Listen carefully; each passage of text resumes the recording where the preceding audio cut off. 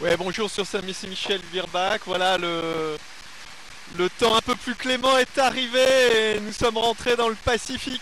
Euh, voici quelques images, vous voyez, c'est un peu plus cool. Et l'angle du vent est bon, on peut bien accélérer. Il n'y a que 17 nœuds sur les images que vous voyez, vous voyez.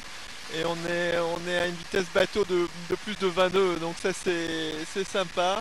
Voilà quelques images vues de l'arrière, toujours ces sacs à voile dehors qui attendent impatiemment d'être montés, qui attendent leur Atlantique pour euh, revenir en, ordre de marche.